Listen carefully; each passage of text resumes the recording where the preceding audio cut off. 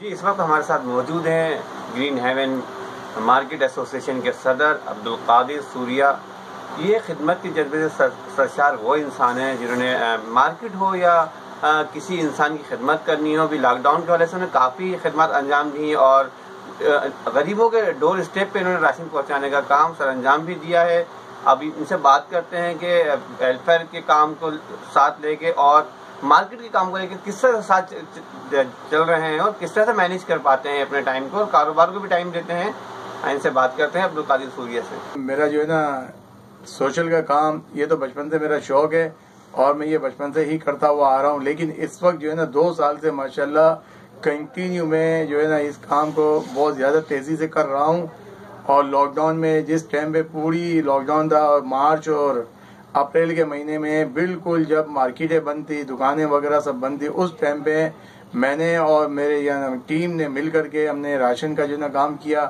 اور گرین ایون مارکیٹ کے ایسوسیشن کے حوالے سے ہم نے راشن بھی تقسیم کی اور انشاءاللہ فیوچر میں میرا یہ پلان بھی ہے کہ میں انشاءاللہ این جی اوز پہ بھی کام کروں گا اور اپنی این جی اوز بھی بناؤں گا۔ اس وقت جو ہے نا آل سٹی تاجر احتیاط کے جو چیئرمین ہیں، حکیم شاہ صاحب اور وائس چیئرمین ہیں، شاکر فینسی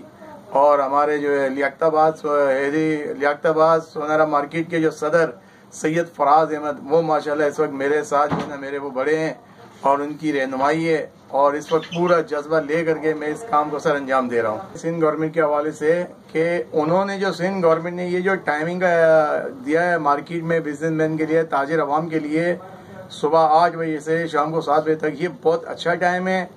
اس میں عوام الناس کے لیے بہتری بھی ہے، اس میں آرام سے جو ہے نا بزنس کاروبار ہو سکتا ہے۔ اس پہ تمام دکاندار، بالخصوص میری مارکیٹ والے دکاندار اس پہ ایس او پی پہ عمل بھی کر رہے ہیں۔ صحیح ہے۔ اور جو کسٹمر آ رہا ہے، اس کو سینیٹائزر کا استعمال ہوا جا رہا ہے اور ہاتھوں میں گلف اور جو ہے نا، کیا نام ہے،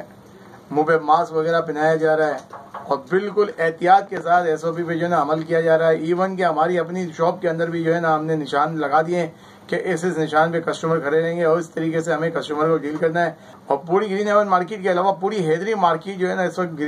پوری ایس او پیز پہ عمل کر رہی ہے۔ گرین ہیون مارکیٹ ایسوسیشن کے صدر عبد القادر سوریا بڑے خدمت کے جذبے سے سرشار ہیں یہ اور مارکیٹ کے دکانداروں کے ساتھ بڑے مخلص ہیں اور انسانیت کا کام کر رہے ہیں۔ اللہ پاک، اللہ کرے ان کا جذبہ شوق کبھی طے نہ ہو۔ کیمرہ مین زائد ایوب شیخ کے ساتھ Afaq Ahmed Siddiqui, M seven city news, Karachi.